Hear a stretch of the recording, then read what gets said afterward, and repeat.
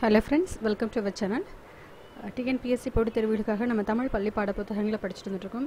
இன்றைக்கி நம்ம அதன் அடிப்படையில் படிக்க போகிறது ஒன்பதாம் வகுப்பு புதிய பாடத்திட்டம் பகுதியான உரைநடை பகுதியில் இருக்க திராவிட மொழி குடும்பம். இந்த பாடத்தை பார்க்கறதுக்கு முன்னாடி மறக்காமல் என்னோட சேனல் உங்களுக்கு பிடிச்சிருந்துச்சுன்னா லைக் பண்ணி சப்ஸ்கிரைப் பண்ணுங்கள் மற்ற உங்கள் நண்பர்களுக்கும் ஷேர் பண்ணுங்கள் வாங்க இப்போது லெசனுக்குள்ளே போகலாம். இப்போ இந்த லெசனை படிக்கிறதுக்கு முன்னாடி இந்த லெசன் வந்து ஒரு சின்ன இன்ட்ரடக்ஷன் கொடுத்துட்றேன் இந்த திராவிட மொழி குடும்பம் அப்படின்னு நம்ம இது பண்ணோடனே நமக்கு படித்த ஹெட்டிங் பார்த்தோன்னே நமக்கு எதை பற்றி நம்ம படிக்க போகிறோமோ தெரிஞ்சிருக்கும். அது இல்லாமல் போட்டித் தேர்வுகளுக்கு ஆல்ரெடி நம்ம ப்ரிப்பேர் பண்ணிட்டு இருந்தோம்னா பழைய புத்தகத்துலேயும் வந்து இது சம்மந்தமாக இருக்குது ஸோ வந்து நமக்கு நிறைய தெரியும். அது இல்லாமல் இன்னும் நிறைய விஷயங்கள் இதில் கொடுத்துருக்காங்க. அறிஞர்களுடைய பெயர்கள்லாம் இதில் நிறையா இருக்குது அதெல்லாம் வந்து ரொம்ப முக்கியமாக ஞாபகம் வச்சுக்கணும். இதை வந்து எப்படி வந்து நம்ம பிரித்து படிச்சுக்கணும் அப்படின்னா ஒவ்வொரு பேஜ்லேயும் இருக்க முக்கியமான பாயிண்ட்ஸ் எல்லாத்தையுமே நம்ம கவர் பண்ணி முடிக்கணும். அதாவது சில விஷயங்கள் இருக்குது சில முக்கியமான ஹிண்ட்ஸ் எல்லாமே இருக்குது அதை எல்லாத்தையுமே நம்ம அண்டர்லைன் பண்ணி படிக்கலாம். அப்படி இல்லைன்னா முக்கியமான குறிப்புகளை நோட்ஸ் எடுத்து வச்சுக்கணும்னு நான் இப்போ சொல்லியிருக்கேன். எப்போவுமே வந்து நம்ம எழுதுகிறோம் கேட்குறோம் பார்க்குறோம் இதெல்லாம் வேறு. நீங்கள் புக்ஸை வச்சு படித்தாலுமே ஸோ கண்டிப்பாக வந்து அதை ரைட்டிங்னு ஒரு ப்ராசஸ் பண்ணும்போது கண்டிப்பாக நமக்கு மறக்காது. முக்கியமான பாயிண்ட்ஸ் நமக்கு வந்து இதெல்லாம் முக்கியமாக வரும் வரக்கூடிய விஷயங்கள் அப்படின்னு நமக்கு தோணும். ஏன்னா வந்து பல் பாட புத்தகத்தை தவிர்த்து நமக்கு வெளியிலேருந்து கேட்க போகிறது கிடையாது. அப்போ அதுக்குள்ளேருந்து மட்டும் தான் நமக்கு கேட்குறாங்க அப்படிங்கிறப்போ இதை விட்டுட்டு நம்ம படிக்க முடியாது. சிம்பிளாக இருக்குது அப்படி எல்லாத்தையுமே கொஞ்சம் ஓரலாக படிச்சுக்கணும். முக்கியமான விஷயங்களை வந்து அவங்களே ஹிண்ட்ஸ் பண்ணி அதை கலர் கலரிங் கொடுத்துருக்காங்க. ஸோ அந்த விஷயங்கள் எல்லாத்தையுமே நம்ம முக்கியமாக படிச்சாகணும். ஒவ்வொரு பேஜ் முடிச்சதுக்கப்புறமும் இதுலேருந்து இந்த கொஸ்டின்ஸ் வரும் அப்படிங்கிறத நான் வந்து எப்படி கொஸ்டின்ஸ் கேட்பாங்கங்கிறத நம்ம அப்படியே ப்ரிப்பேர் பண்ணிகிட்டே போகலாம். இந்த லெசன் வந்து கொஞ்சம் பெரிய லெசன் தான். கொஞ்சம் பொறுமையாக தான் படிக்கணும். வாங்க இப்போது என்னங்கிறத பார்க்கலாம். தமக்கு தோன்று இதுக்கு இந்த லெசனுக்கு போகிறதுக்கு முன்னாடி ஒரு முன்னுரை கொடுத்துருக்காங்க. அந்த முன்னுரை படித்தாலே நமக்கு இதில் என்ன இருக்குங்கிறது தெரியும். திராவிட மொழிகளில் மூத்த மொழியாக இலங்குவது எது அப்படின்னா தமிழ். அப்படின்னு சொல்லியிருக்காங்க. எத்தகைய கால மாற்றத்திலும் எல்லா புதுமைகளுக்கும் ஈடு கொடுத்து இயங்கும் ஆற்றல் நம்ம தமிழுக்கு உண்டு. தமிழாய்ந்த அயல்நாட்டறிஞரும் செம்மொழி தமிழின் சிறப்பை தரணியெங்கும் எடுத்துரைத்து மகிழ்கின்றனர். இந்த உரைப்பகுதி தமிழின் சிறப்பை பிற மொழிகளுடன் ஒப்பிட்டு உணர்த்துகிறது. இதுதான் இந்த இந்த பாடத்தில் நமக்கு இருக்கிறது. தமிழோட சிறப்பை மற்ற மொழிகளோட ஒப்பிட்டு நம்ம தமிழ் வந்து எவ்வளோ சிறந்தது அப்படிங்கிறத உணர்த்திருக்கு அதே போல் அறிஞர்கள்லாம் என்ன செய்தாங்க என்ன பண்ணியிருக்காங்கங்கிற தமிழுக்காக அப்படிங்கிறத அதாவது அயல்நாட்டு அறிஞர்கள் முதற்கொண்டு தமிழை எப்படியெல்லாம் நேசிச்சாங்கங்கிறதெல்லாம் இதை கொடுத்துருக்காங்க.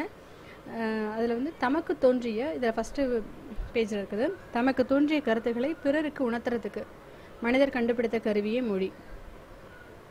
மேக்ஸிமம் வந்து இந்த பேராகிராஃபில் வந்து நமக்கு எது எல்லாமே அண்டர்ஸ்டாண்ட் ஆயிரும் மைண்டில் நிற்கக்கூடிய விஷயமா தான் இருக்கும். ஏன்னா இது நார்மல் ரொட்டீன் லைஃப்பில் இருக்கக்கூடிய விஷயம்தான் முதல்ல தங்களுடைய எண்ணங்களையும் மெய்ப்பாடுகள் சைகைகள் ஒளிகள் அதாவது நம்மளுடைய பாடி லாங்குவேஜ் இதெல்லாம் இருக்கு இல்லையா? அது எல்லாத்தையுமே ஒளிகள் ஓவியங்கள் முதலாற்ற அவற்றின் மூலமாக தான் பிறருக்கு தெரிவிக்க முயல்கிறாங்க அதுக்கப்புறம் பருப்பொருள்களை மட்டும்தான் அதன் மூலமாக அவங்களால உணர்த்த முடியுது. ரொம்ப மைனூட்டான பொருள் எல்லாத்தையுமே யாருக்கும் உணர்த்த முடியலை. நுண்பொருள்களை உணர்த்த இயலவில்லை. அதனால் ஒளிகளை உண்டாக்கி பயன்படுத்தி தொடங்குறாங்க பயன்படுத்த தொடங்குறாங்க.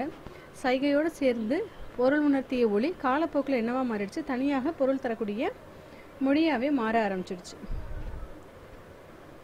மனித இனம் வாழ்ந்த இட அமைப்பும் இயற்கை அமைப்பும் வேறுபட்ட ஒழிப்பு முயற்சிகளை உருவாக்க தூண்டுது.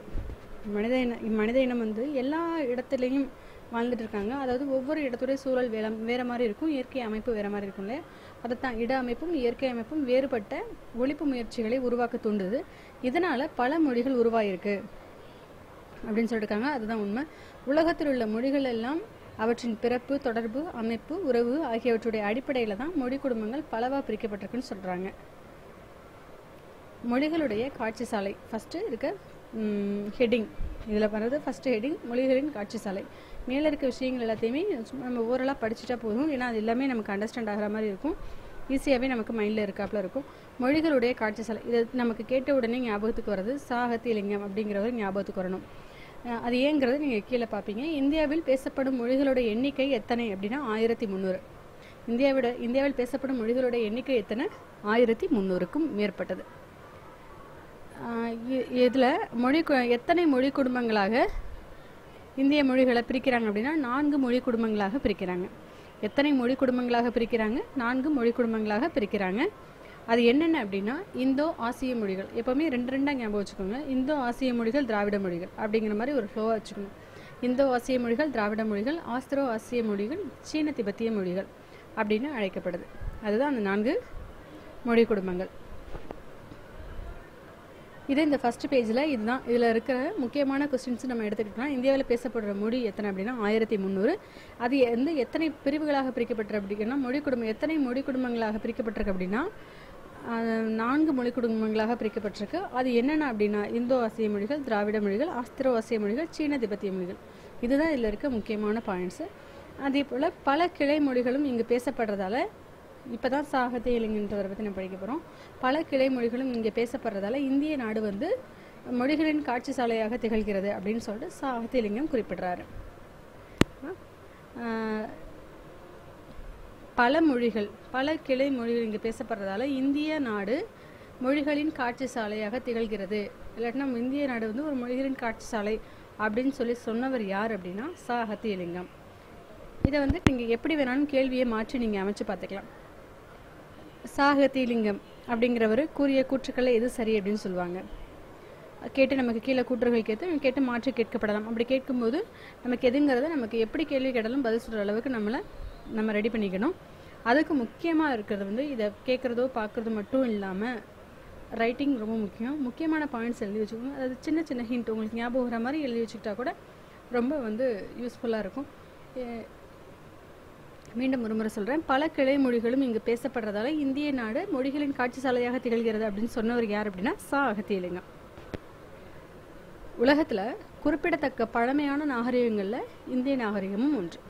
உலகத்தில் குறிப்பிடத்தக்க பழமையான நாகரிகத்தில் இந்திய நாகரிகமும் ஒன்றுன்னு சொல்கிறாங்க அதே போல் இது வந்து ஏன் வந்து பழமையான நாகரிகம் அப்படின்னு சொல்கிறாங்க அப்படின்னா ஹரப்பா மொஹஞ்சதாரோ அகழாய்வுக்கு பின்னர் தான் இந்த மாதிரி இந்திய நாகரிகம் வந்து ஒரு பழமையான நாகரிகம் அப்படின்னு சொல்லி குறிப்பிடுறாங்க.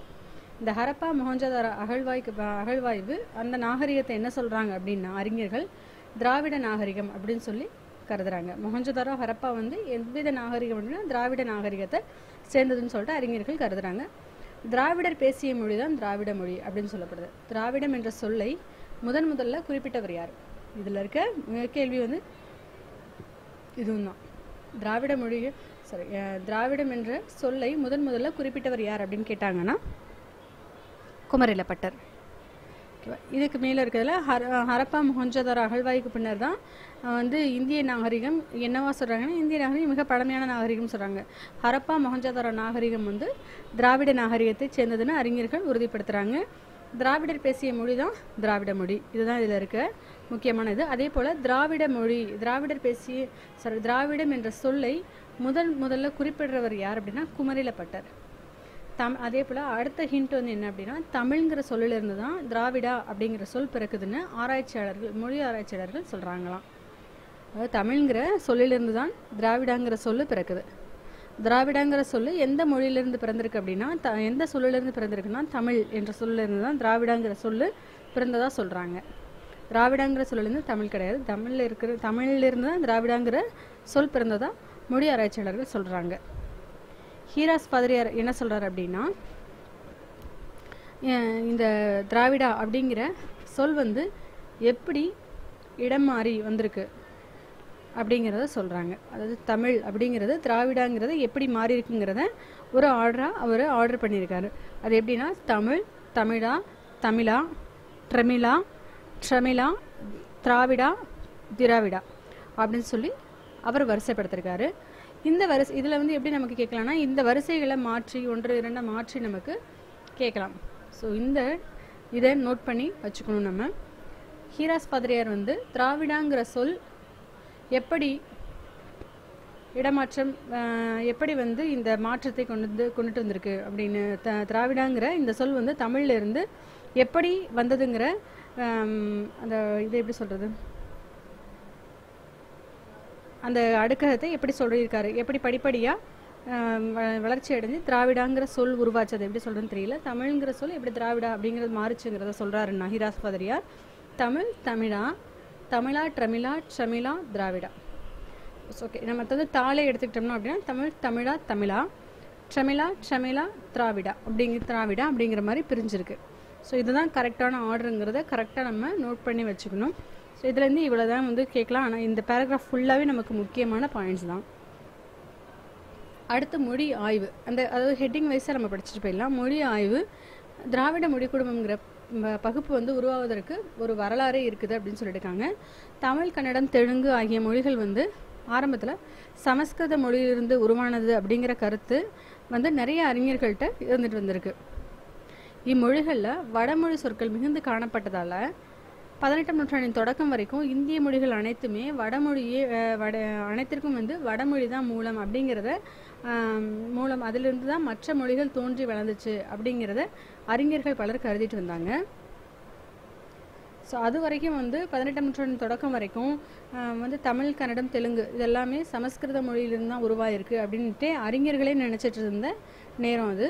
இதே போல் வடமொழி சொற்கள் வந்து அதில் நம்ம தமிழில் நிறையா வந்து மிகுந்து காணப்பட்ட தமிழ் கன்னடம் தெலுங்குல மிகுந்து காணப்பட்டதாலையும் பதினொன்றாம் பதினெட்டாவது நூற்றாண்டு தொடக்கம் வரைக்கும் இந்திய மொழிகள் அனைத்திற்கும் வடமொழி தான் மூலம் அப்படிங்கிறத கருத்தை எல்லாருமே அறிஞர்கள் தெரிவிச்சுட்டு அறிஞர் வில்லியம் ஜோன்ஸுங்கிறவரும் என்ன பண்ணிட்டாரு? வடமொழியை ஆராய்ஞ்சு பார்த்துட்டு மற்ற ஐரோப்பிய மொழிகளோடு தொடர்புடையது வடமொழி அப்படிங்கிறதையும் குறிப்பிடுறாரு. வடமொழியை ஆராய்ந்து மற்ற ஐரோப் சாரி வடமொழியை ஆராய்ந்து மற்ற ஐரோப்பிய மொழிகளோடு தொடர்புடையது வடமொழி என முதல்ல குறிப்பிடுறவர் யார் அப்படின்னா வில்லியம் ஜோன்ஸ். அறிஞர் வில்லியம் ஜோன்ஸ். இவர் வடமொழி ஆராய்ஞ்சு பார்த்துட்டு ஐரோப்பிய மற்ற ஐரோப்பிய மொழிகளோடு தொடர்புடையது வடமொழி அப்படிங்கிறத சொல்கிறாரு ஃபஸ்ட்டு ஃபஸ்ட்டு அவர் தான் சொல்கிறாரு அறிஞர் வில்லியம் ஜோன்ஸ் அவர். தொடர்ந்து ஆயிரத்தி எண்ணூற்றி பதினாறாவது ஆண்டில் அதுக்கப்புறமும் நிப்பாட்டில். அவர் சொன்னதுக்கப்புறமும் அறிஞர் வில்லியம் ஜோன்ஸ் சொன்னதுக்கப்புறமும் வந்து அதை மொழியை வந்து ஆராய்ச்சிட்டே இருக்கா ஆராய்ந்துட்டே இருக்காங்க பேராசிரியர்கள். அந்த பேராசிரியர்கள் யாராருன்னா ஆயிரத்தி எட்நூற்றி பதினாறாம் ஆண்டில் பேராசிரியர்கள் வந்து பாப் ராஸ் கிரீம். இதை வந்து பன்னு ரஸ்க் கிரீம் அப்படி கிரீம் அப்படிங்கிற மாதிரி ஞாபகம் வச்சுக்கோங்க. மொழி சார்ந்த பல ஆய்வுகளை மேற்கொள்கிறாங்க இவங்க எல்லாரும் மொழி சார்ந்த பல ஆய்வுகளை மேற்கொள்கிறவங்க யார் யார் அப்படின்னா பேராசிரியர்கள் பாப்ராஸ்க்கு கிரீம். முதன் முதல்ல ஃப்ரான்சிஸ் எல்லிஸ் அப்படிங்கிறவர் தான் தமிழ் தெலுங்கு கன்னடம் மலையாளம் போன்ற மொழிகளை என்ன சொல்கிறார் அப்படின்னா த- ஒப்புமைப்படுத்தி. Tamil Telugu Kannada Tamil Telugu Kannada Malayalam.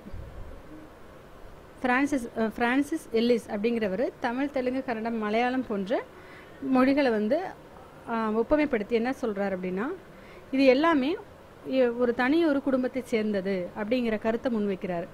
யார் சொல்கிறாங்க ஃப்ரான்சிஸ் எல்லிஸ் அப்படிங்கிறவர் தமிழ் தெலுங்கு தெலுங்கு கன்னடம் மலையாளம். இந்த மொழிகள் எல்லாமே தனியொரு மொழி குடும்பத்தை சேர்ந்தது அப்படிங்கிற கருத்தை முன்வைக்கிறாரு. இம்மொழிகளை ஒரே இனமாக கருதி தென்னிந்திய மொழிகள் அப்படிங்கிற பெயரையும் அவர் இடுறாரு. தென்னிந்திய தமிழ் தெலுங்கு மலையாளம் கன்னடம். இந்த மொழிகளுக்கு தென்னிந்திய மொழிகள் அப்படிங்கிற பெயரிடுறவர் யாருன்னா ஃப்ரான்சிஸ் எல்லிஸ் இதனையொட்டி அதுக்கப்புறம் வந்து அவர் ஆராய்ச்சி பண்ணி தமிழ் தெலுங்கு ம- கன்னடம் மலையாளம் இது எல்லாத்தையுமே ஆராய்ந்து ஒப்புமைப்படுத்தி அது வந்து தென்னிந்திய மொழிகள் சேர்ந்தது அப்படின்னு சொல்கிறார் இல்லையா? அதுக்கப்புறம் என்ன பண்ணுறாங்கன்னா அதே ஆராய்ந்து பண்ணுறாங்க அதை அதை தொடர்ந்து மால்தோ தோடா கோண்டி நமக்கு தான் ஆயிரத்தி முந்நூறுக்கும் மேற்பட்ட மொழிகள் இருக்குல்ல?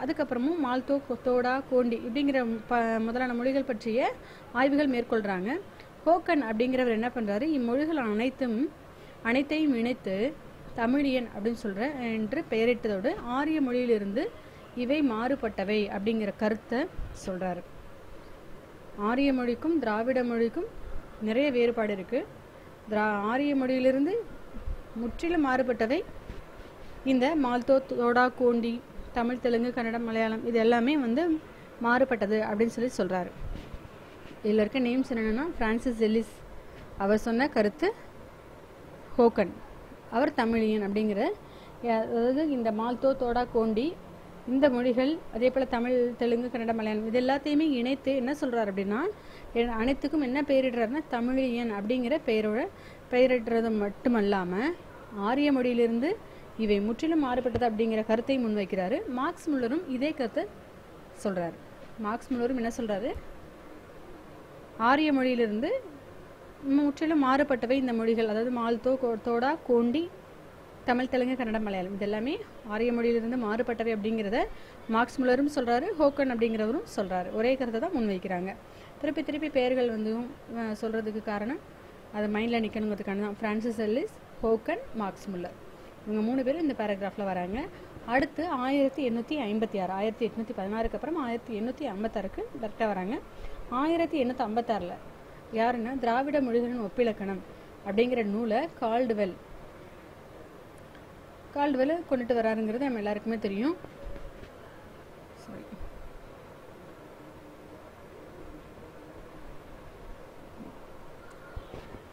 அந்த நம்ம இது வரைக்கும் நம்ம அப்படி படிச்சிருப்போம். அதுக்கப்புறம் வந்து அந்த அந்த நூலில் என்ன சொல்லியிருக்காரு அப்படிங்கிறதையும் நம்ம இதில் பார்க்க போகிறோம் ஆயிரத்தி எண்ணூற்றி எண்பத்தாறில் திராவிட மொழிகளின் ஒப்பிலக்கணம் அப்படிங்கிற நூலை கால்டுவெல் கால்டுவெல் கொண்டுட்டு வராரு. எழுதி வெளியிடுறாரு. அதாவது இதுலேருந்து என்ன கேள்வி கேட்கலாம்னா திராவிட மொழிகளின் ஒப்பிலக்கணம் அப்படிங்கிற நூலை எழுதியவர் யார் அப்படின்னா கால்டுவெல். அது எந்த வருடம் வந்து வெளியிடப்படுதுன்னா ஆயிரத்தி எண்ணூற்றி ஐம்பத்தி ஆறில். இதை எப்படி வேணாலும் மாற்றி கேள்விகள் கேட்கலாம். கால்டுவெல் திராவிட மொழிகளின் ஒப்பிலக்கணம் கால்டுவெல் ஆயிரத்தி தொள்ளாயிரத்தி ஐம்பத்தி ஆறு. இது மூணு சம்மந்தப்பட்டிருக்கு இந்த மூணை எப்படி வேணாலும் கேட்கலாம். அதேபோல திராவிட மொழிகள் ஆரிய மொழி குடும்பத்திலிருந்து வேறுபட்டவை எனவும் இம்மொழிகள் சமஸ்கிருத மொழிக்குள்ளும் செல்வாக்கு செலுத்தியிருக்கிறது அப்படிங்கிறதையும் குறிப்பிடுறாரு. அவருடைய அந்த திராவிட மொழிகளின் ஒப்பிலக்கணம் அப்படிங்கிற அந்த நூலில் என்ன குறிப்பிட்டிருக்காரு அப்படின்னா என்ன மேட்ரு சொல்லியிருக்காருன்னா திராவிட மொழிகள் ஆரிய மொழி குடும்பத்திலிருந்து வேறுபட்டவை அப்படின்னும் இம்மொழிகள் சமஸ்கிருத மொழிக்குள்ளும் செல்வாக்கு செலுத்தியிருக்கு அப்படிங்கிறதையும் குறிப்பிடுறாரு. இதனை மேலும் உறுதிப்படுத்த பல்வேறு இலக்கண கூறுகளை சுட்டிக்காட்டி திராவிட மொழிகளுக்குள் இருக்கும் ஒற்றுமைகளையும் எடுத்துரைக்கிறார்.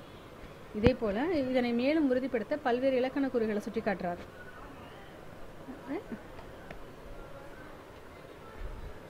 திராவிட மொழிகளுக்குள்ளும் இருக்கும் ஒற்றுமைகளையும் எடுத்துரைக்கிறாரு. கால்டுவெல்லுக்கு பின்னர் இதில் இருக்க இந்த நேம்ஸ் எல்லாத்தையுமே கொஞ்சம் நல்லா ஞாபகம் வச்சுக்கணும். கால்டுவெல்லுக்கு பின்னாடி Sten Konow K V Subbaiah L V Ramaswamy Burrow Emeneau Kamil Zvelebil ஆந்திரனு தேப்போ மீனாட்சி மீனாட்சி சுந்தரம் முதலான அறிஞர்கள் திராவிட மொழிகளின் ஆய்விற்கு பங்களிப்பு செய்தவர்களில் குறிப்பிடத்தக்கவர்கள் அப்படின்னு சொல்லியிருக்காங்க. திராவிட மொழிகளின் ஆய்வு ஆய்விற்கு பங்களித்த பங்களிப்பு செய்த அறிஞர்கள் யார் யார் அப்படின்னா அதாவது கால்டுவெட்டனுக்கு பின்னாடி திராவிட மொழிகளை பற்றின ஆராய்ச்சி செஞ்சவங்க யார் யார் அப்படின்னா ஸ்டென்கெனோ கேவி சுப்பையா.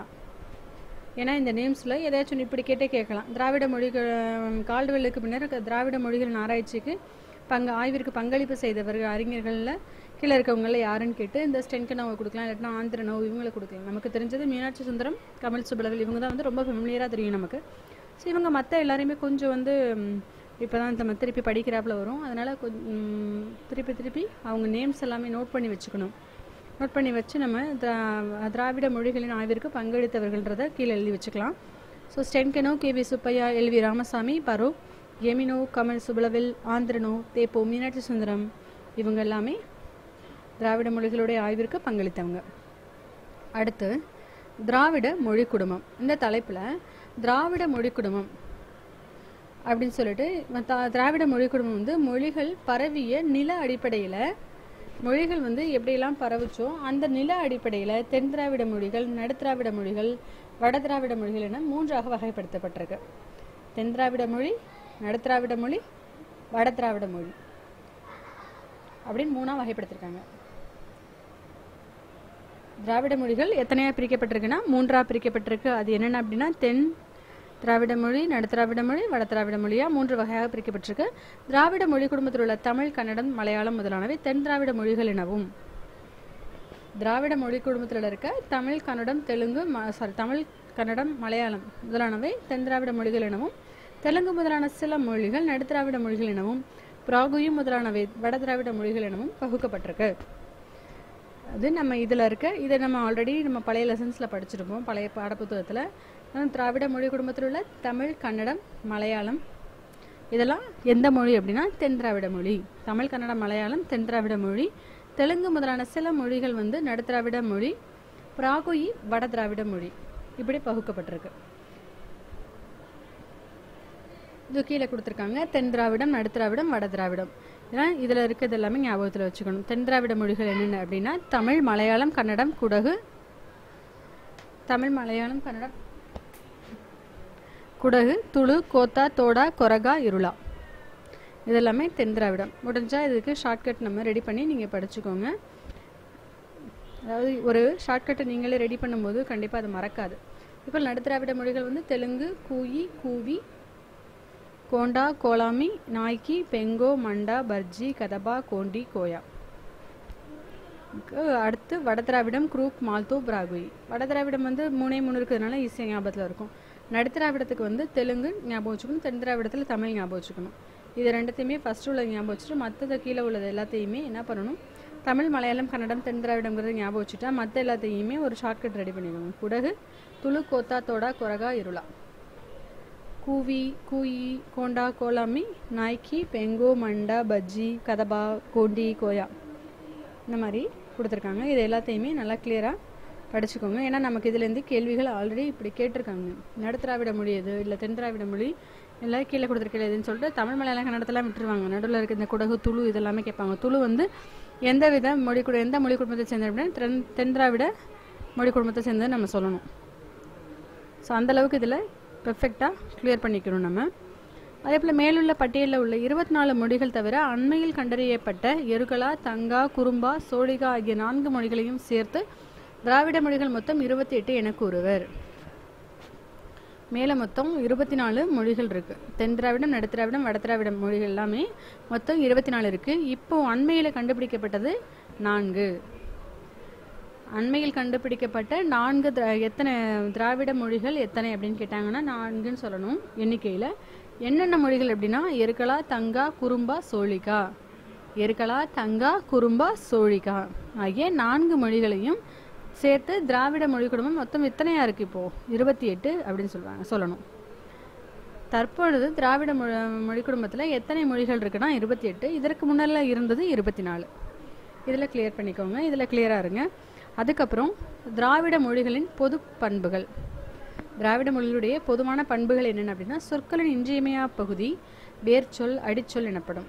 சொற்களுடைய இன்றியமையாத பகுதி என்ன அப்படின்னா வேர்ச்சொல் அடிச்சொல். திராவிட மொழிகளின் சொற்களை ஆராய்ந்தால் அவை பொதுவான அடிச்சொற்களை கொண்டிருப்பதை காண முடிகிறது. திராவிட மொழிகளின் சொற்களை ஆராய்ந்து பார்த்தா என்ன தெரியும்? அவை பொதுவான அடிச்சொற்களை கொண்டிருப்பது அப்படிங்கிறத நம்மளால் காண முடியும் அப்படின்னு சொல்கிறாங்க தெரியுமா அப்படிங்கிறதுல ஒரு சின்ன வந்து நமக்கு குறிப்பு கொடுத்துருக்காங்க. தமிழ் வடமொழியின் மகளன்று. அது தனி குடும்பத்திற்கு உரிய மொழி. சமஸ்கிருத கலப்பின்றி. அது தனித்தியங்கும் ஆற்றல் பெற்ற மொழி. தமிழுக்கும் இந்தியாவின் பிற மொழிகளுக்கும் தொடர்பு இருக்கலாம். அப்படின்னு சொன்னவர் கால்டவல். கால்டவல் இப்படி சொல்லியிருக்காரு தமிழ் வடமொழியின் மகளன்று அப்படின்னு சொன்னவர் யாருன்னா கால்டவல். இந்த கூற்று கேட்டு நமக்கு கேட்கப்படலாம். தமிழ் வந்து தனி குடும்பத்திற்கு உரிய மொழி சமஸ்கிருத கலப்பின்றி அது தனித்தியங்கும் ஆற்றல் பெற்ற மொழி தமிழுக்கும் இந்தியாவின் பிற மொழிகளுக்கும் தொடர்பு இருக்கலாம் அப்படின்னு சொன்னது கால்டுவெல். இந்த ஃபோர்த் பேஜில் இதுதான் இருக்குது அதற்குன்றான சான்று அந்த அடிச்சொல் இருக்குல்ல திராவிட மொழிகளின் பொது பண்புகளில் அப்போது வந்து அடிச்சொற்கள் தான் அதிகமாக கொண்டிருப்பதை கா கொண்டிருப்பதை நம்ம காண முடியும்னு சொல்கிறாங்க அடிச்சொல் என்னென்னா கண். திராவிட மொழிகள் வந்து தமிழ். கண் கண் அப்படிங்கிறது தமிழில் நம்ம சொல்கிறது கண் அப்படிங்கிறது மலையாளம் கன்னடம். கண்ணு அப்படின்னா தெலுங்கு குடகு. கண் அப்படின்னா குரூக். கின் பர்ஜி. கொன் தோடா. அதாவது இது தமிழ்லேருந்து தான் அதன் உண்டான மொழிகள் வந்து வந்திருக்குங்கிறத காமிப்பாங்க. தமிழ் கண்ணுங்கிறதுலேருந்து தான் கண்ணு கண்ணு ஹன் கென் பொன் இப்படி சொல்லிட்டு வந்திருக்கு அப்படிங்கிறத நமக்கு பிரித்து காட்டியிருக்காங்க. திராவிட மொழிகளில் எண்ணு பெயர்கள் போன்று ஒன்று போலவே அமைஞ்சிருக்கு அப்படின்றாங்க. திராவிட மொழிகள் மொழிகளில் எண்ணு பெயர்கள் எல்லா லாங்குவேஜ்லேயுமே ஒன்றாவே அமைஞ்சிருக்கு அப்படின்னு சொல்கிறாங்க தமிழ் மலையாளம் தெலுங்கு கன்னடம் துளு இது எல்லாமே திராவிட மொழிகள் தான் இல்லையா? இந்த எல்லாத்துலேயுமே எண்ணு பெயர்கள் எல்லாமே ஒரே மாதிரியாவே அமைஞ்சிருக்கு. மூன்று மூணு மூடு மூறு மூஜி. இது எல்லாமே ஒரே மாதிரி அமைஞ்சிருக்கு. என்ன பெயர்கள் அமைஞ்சிருக்கு அப்படிங்கிறத சொல்லியிருக்காங்க. மூன்று மூணு மூடு மூறு மூஜி. மூன்றுங்கிறது தமிழ் மூணுங்கிறது மலையாளம் மூடுங்கிறது தெலுங்கு மூறு அப்படிங்கிறது கன்னடம் மூஜி அப்படின்னா துளு.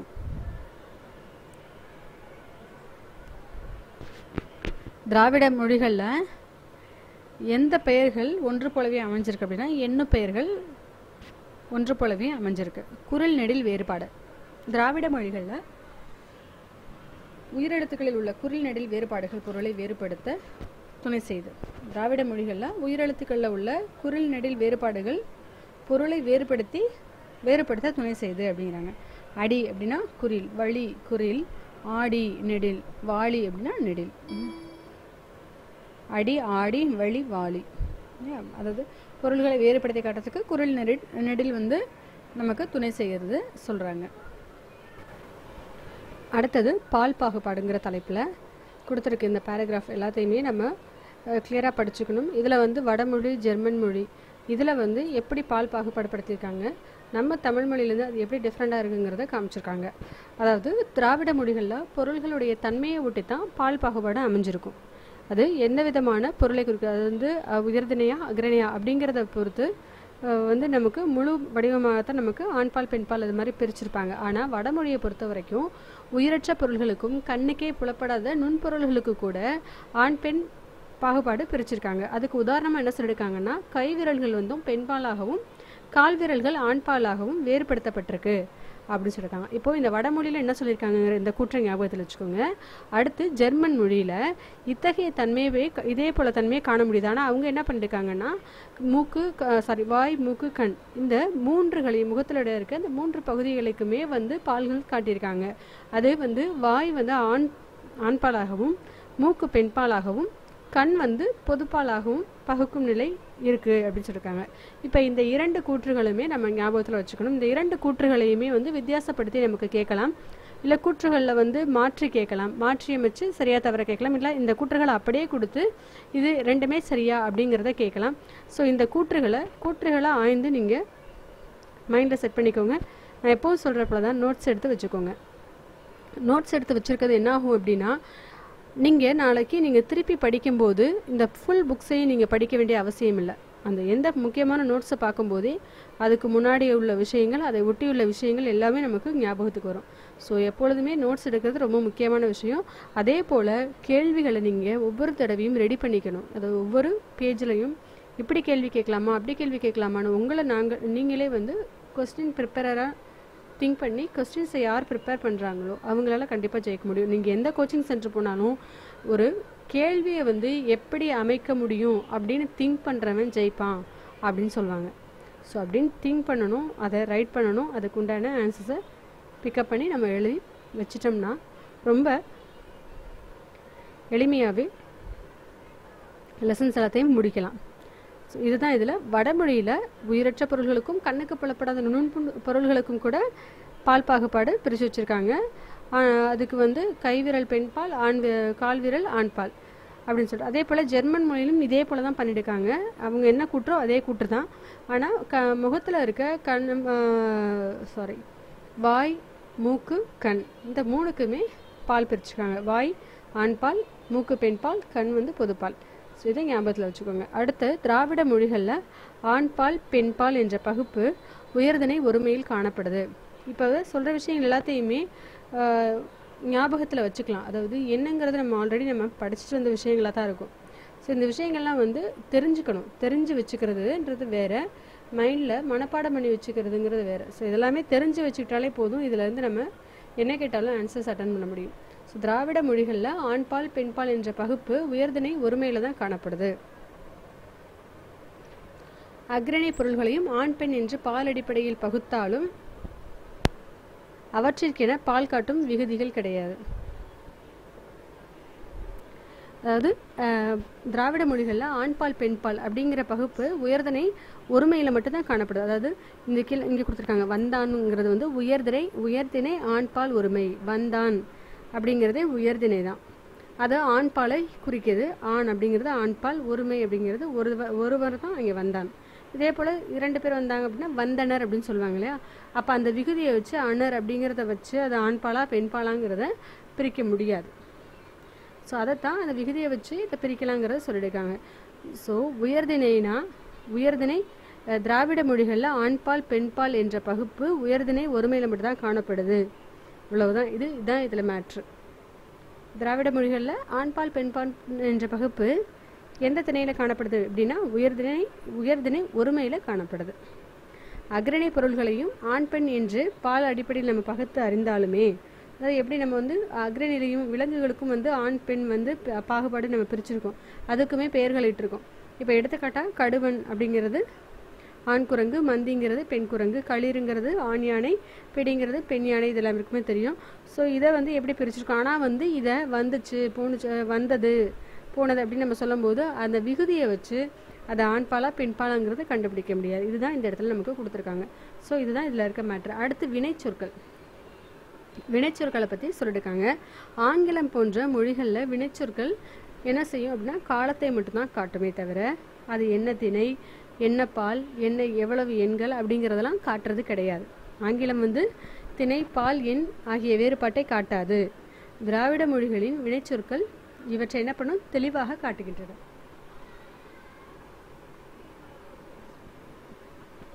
திராவிட மொழிகளில் வினைச்சொற்கள் இவற்றை தெளிவாக காட்டும். அதாவது வந்தான் அப்படிங்கிறது வினைச்சொல். அது என்ன திணை என்ன பால் எத்தனை அப்படிங்கிறத காமிச்சிருக்கு. என்ன திணை உயர்திணை? அது ஆண்பால். எத்தனை பேர் வந்தாங்க அப்படின்னா ஒருத்தர் தான் ஒருமை. ஸோ இயல்புக்கு மார்பாக சாரி இவ் இவ் இயல்புக்கு மாறாக திராவிட மொழிகளில் இருக்க மலையாள மொழி மட்டும் இந்த இயல்புக்கு மாறாக அமைஞ்சிருக்கு அப்படிங்கிறத சொல்லியிருக்காங்க. நம்ம தமிழ் மொழியில் இருக்க மாதிரி கிடையாது. என்ன அப்படின்னா அம்மொழியில் திணை பால் எண் ஆகியவற்றை காட்டும் பாலறி கிழவிகள் இல்லை. என்ன பால் அப்படிங்கிறத நம்ம அறிஞ்சுக்கிற மாதிரியான சொற்கள் கிடையாதுன்னு சொல்லியிருக்காங்க தனிச்சொற்களாலேயே ஆண் பெண் பகுப்பை அறிந்து கொள்ள முடியும் அப்படின்ட்டுருக்காங்க ஸோ இதில் நம்ம இதை தெரிஞ்சுக்கிட்டப்பட்டோம் மலையாளத்தை பொறுத்த வரைக்கும் அந்த மொழியில் திணை பால் எண் ஆகியவற்றை காட்டும் பாலறி கிளவிகள் கிடையாது. இதுதான் இதில் விஷயம். இந்த கூற்று ரொம்பவே நம்ம மைண்டில் செட் பண்ணி வச்சுக்கணும். மலையாள மொழி என்னது கிடையாது பாலரி கிளவிகள் கிடையாது. திணை மொழி பா திணை பால் எண் காட்டுகின்ற பாலரி கிளவிகள் கிடையாது. தனிச்சொற்களாலேயே ஆண் பெண் பகுப்பை அறிந்து கொள்ள முடியும். இவ்வாறு திராவிட மொழிகள் சில பொது பண்புகளை பெற்றிருந்தாலும் அவற்றுள் தமிழுக்கென்று சில சிறப்பு கூறுகளும் தனித்தன்மைகளும் உள்ளன.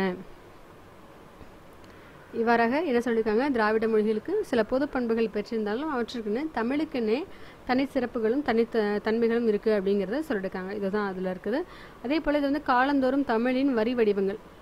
இதை பற்றி நம்ம தெரிஞ்சுக்கணும் அப்படிங்கிறதுக்காக கொடுத்துருக்காங்க. இதுலேருந்து வந்து ஒன்றும் பெருசாலாம் கேள்வி கேள்வி வந்துடாது வந்து எந்தெந்த நூற்றாண்டில் எந்தெந்த எங்க இதில் வந்து கா அந்த ஆனா ஆவணா இருக்கு இல்லையா? அது இக்கு இஞ்சு இதெல்லாம் வந்து எப்படி மாறி எந் எப்படி உண்டான வரி வடிவங்களில் இன்றைக்கி மாறி இருக்குங்கிறத கொடுத்துருக்காங்க. இதெல்லாம் வந்து ஸ்கூல் படிக்கிறவங்க பிள்ளைங்க தெரிஞ்சுக்கணுங்கிறதுக்காகவும் தெரியாதவங்க தெரிஞ்சுக்கணும். நம்மளோட தமிழ் வந்து எப்படி வளர்ச்சி அடிச்சு வடைஞ்சிருக்கு அப்படிங்கிறதுக்காண்டி.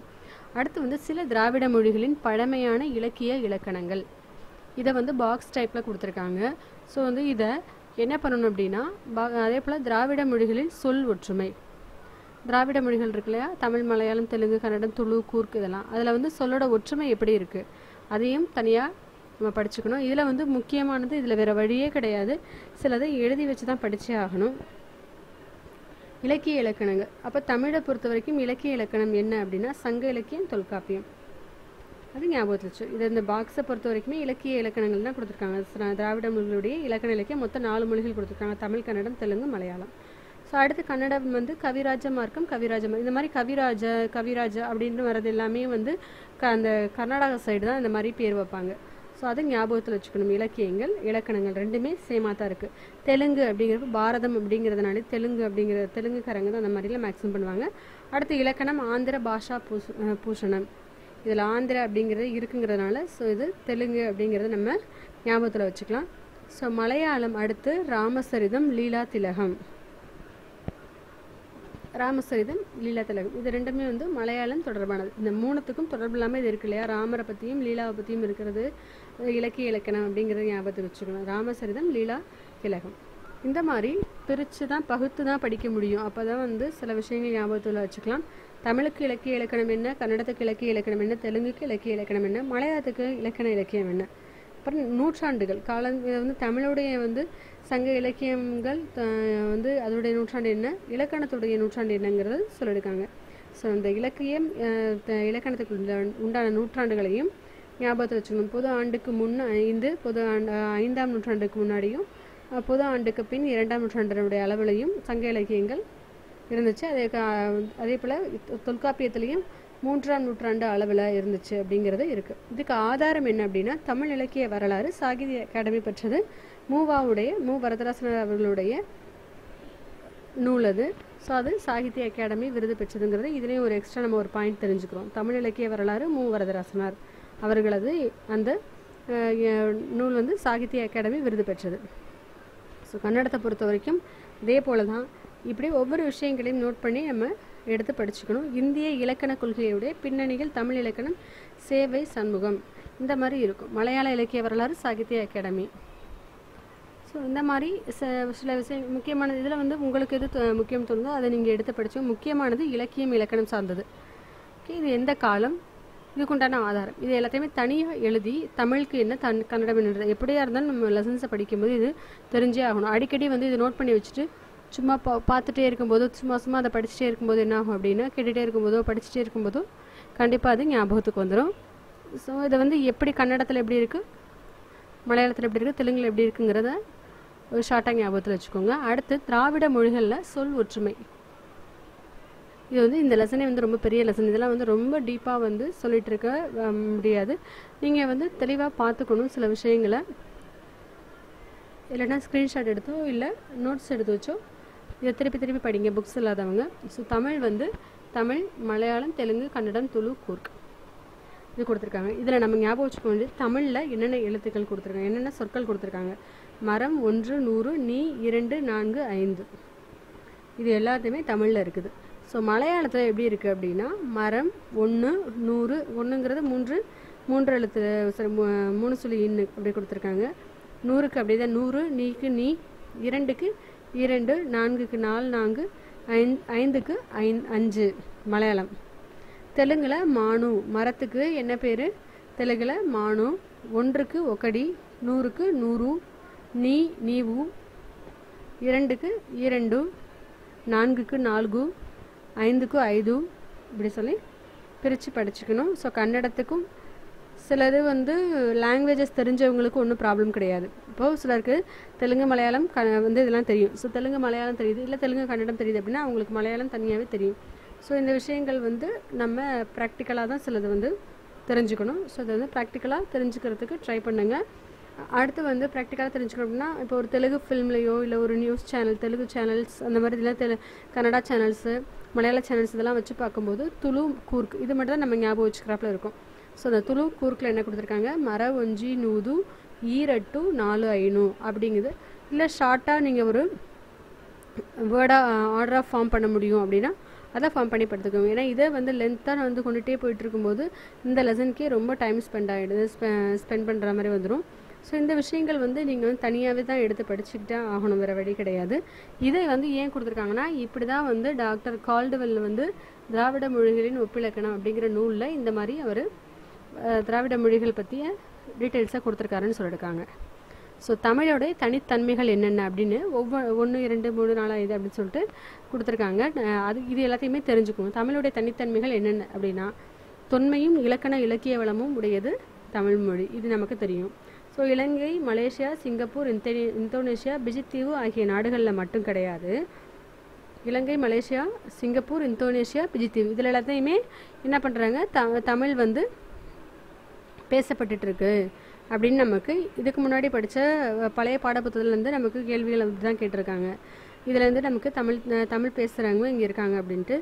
அது அது மட்டும் கிடையாது. இது இதையுமே நோ- நோட் பண்ணிக்கணும். இலங்கை மலேசியா சிங்கப்பூர் இந்தோனேஷியா பிஜித்தீவு ஓகேவா இலங்கை மலேசியா சிங்கப்பூர் இந்தோனேஷியா பிஜித்தீவு ஆகிய நாடுகளில் மட்டும் கிடையாது.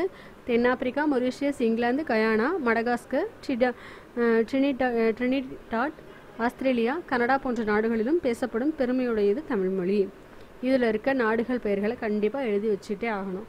தென்னாப்பிரிக்கா மொரீஷியஸ் இங்கிலாந்து கயானா எப்போவுமே தனித்தனியாக படிக்காதீங்க. ஒரு ஃப்ளோவாக ஆர்டராக படிச்சுட்டு போயணும்னு நான் சொல்லியிருக்கேன் தென்னாப்பிரிக்கா Mauritius England Guyana Madagascar Trinidad இந்த ஆஸ்திரேலியா கனடா போன்ற நாடுகளிலும் பேசப்படும் பெருமையுடையது தமிழ்மொழி தமிழ்மொழி எந்தெந்த நாடுகளில் பேசப்படுது? அதை ஒரு தலைப்பு போட்டு தனியாக நீங்கள் நோட் பண்ணிக்கோங்க. அடுத்து ஏனைய திராவிட மொழிகளை விடவும் தமிழ்மொழி தனக்கென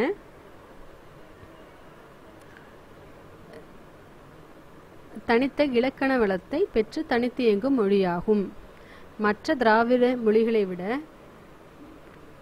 தமிழ்மொழி தமிழ்மொழி வந்து தனக்கென தனித்த இலக்கண வளத்தை பெற்று தனித்து இயங்கும் மொழி எது அப்படின்னா தமிழ்மொழி இதில் தெரியுமா அப்படிங்கிறதுல ஒரு லைன் கொடுத்துருக்காங்க. அந்த லைன் வந்து ரொம்ப முக்கியமான லைன் இது கண்டிப்பாக கேட்கப்படலாம். ஏன்னா ஹைலைட் பண்ணி காமிக்கும் போது அது முக்கியமானதுங்கிறதுனால நமக்கு ஹைலைட் பண்ணி காமிச்சிருக்காங்க. ஸோ அதை கண்டிப்பாக படிச்சுக்கோங்க. அது என்ன ரூபாய் நோட்டுங்கிறது தான் போட்டிருக்காங்க. மொரிஷியஸ் இலங்கை உள்ளிட்ட நாடுகளுடைய பணத்தாளில் தமிழ்மொழி இடம்பெற்றிருக்கு. எந்த இரு நாடுகளின் பணத்தாளில் தமிழ் மொழி இடம்பெற்றிருக்கு அப்படின்னு சொல்லிட்டு கீழே இரண்டு நாடுகளையும் வெவ்வேறு நாடுகள் கொடுத்து கேட்பாங்க. ஸோ அப்படி கேட்கும்போது நமக்கு மொரிஷியஸ் இலங்கை. அங்கே தான் மொரிஷியஸ் இலங்கையுடைய பணம் மொரிஷியஸ் இலங்கையுடைய பணத்தில் தமிழ் மொழி இடம்பெற்றிருக்கு அப்படிங்கிறத நம்ம அட்டன் பண்ணுற அளவுக்கு அதை நோட் பண்ணிக்கணும். அடுத்து திராவிட மொழிகளில் பிற மொழி தாக்கம் மிகவும் குறைந்ததாக காணப்படும் மொழி எது அப்படின்னா தமிழ்மொழி பிற மொழியுடைய தாக்கம் குறைவாக அமைந்துள்ள மொழி தமிழ்மொழின்னு சொல்லியிருக்காங்க அடுத்து தமிழ்மொழி திராவிட மொழிகள் சிலவற்றின் தாய்மொழியாக கருதப்படுது. தமிழ்மொழி திராவிட மொழிகள் சிலவற்றில் சிலவற்றின் தாய்மொழியாகவே கருதப்படுது.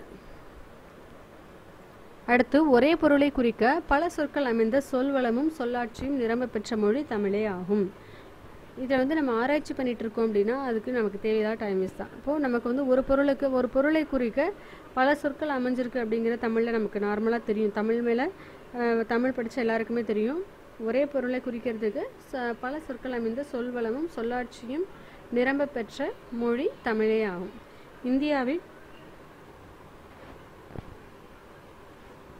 இப்போ இதில் தலைப்பிலே வந்து தமிழோட தனித்தன்மை சொல்லியிருக்காங்க ஸோ அது அதை வச்சு நமக்கு இது என்னங்கிறது நமக்கு புரியும். ஈஸியாக அண்டர்ஸ்டாண்ட் ஆகும். இந்தியாவின் தொன்மையான கல்வெட்டுகளில் பெரும்பாலானவை தமிழ்லேயே அமைஞ்சிருக்கு. தமிழ் கல்வெட்டுகள் தான் அதிகமாக இருக்குது அப்படின்னு சொல்லியிருக்காங்க தமிழின் பல அடிச்சொற்களின் ஒளியன்கள் ஒளி இடம்பெயர்தல் என்ற விதிப்படி பிற திராவிட மொழிகளில் வடிவம் மாறியிருக்குது. பிற திராவிட மொழியில் வடிவம் மாறி சொல்கிறாங்க சுட்டு பெயர்களும் மூவிட பெயர்களும் பெரும்பாலும் குறிப்பிடத்தக்க மாற்றங்களை பெற்றிருக்கிறதா சொல்லியிருக்காங்க. சுட்டு பெயர்களும் மூவிட பெயர்கள். இது எல்லாமே குறிப்பிடத்தக்க மாற்றங்களை பெற்றிருக்கு. அடுத்து திராவிட மொழி குடும்பத்தின் தொன்மையான மூத்த மொழியாக திகழ்கின்ற தமிழ் பிற திராவிட மொழிகளை விட ஒப்பியல் ஆய்வுக்கு பெருந்துணையாக அமைஞ்சிருக்கு. மற்ற திராவிட மொழியை விட தமிழ் மொழி வந்து ஒப்பியல் ஆய்வுக்கு பெருந்துணையாக அமைஞ்சிருக்கதா சொல்லியிருக்காங்க. தமிழ் மொழி மூல திராவிட மொழியின் பண்புகள் பலவற்றையும் பேணி பாதுகாத்து வருது. தமிழ்மொழி மூல திராவிட மொழியின் பண்புகள் பலவற்றையும் பேணி பாதுகாத்து வருது. அத்துடன் தனித்தன்மை மாறுபடாமல் காலந்தோறும் தன்னை புதுப்பித்துக் கொள்ளும் ஆற்றல் பண்பு கொண்டது தமிழ் மொழியா தமிழ் மொழி அப்படின்னு சொல்லிட்டு இந்த லெசனை முடிச்சிருக்காங்க. இந்த லெசன் வந்து கொஞ்சம் இப்போ லென்த்தாக தான் இருக்குது ஸோ இதை கொஞ்சம் பொறுமையாகவும் சில முக்கியமான பாயிண்ட்ஸை எடுத்து நம்ம படிக்கிறது ரொம்ப நல்லது. ஸோ ஃப்ரெண்ட்ஸ் மீண்டும் அடுத்த லெசனில் சந்திக்கலாம். நன்றி வணக்கம்.